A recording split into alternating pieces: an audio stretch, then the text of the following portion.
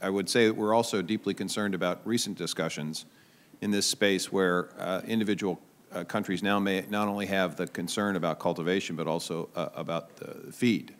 Uh, And we will be expressing uh, our uh, objection uh, to that approach as well. So uh, we're going to be very aggressive on that issue as well as on the geographic uh, preference issue. Ah, come on.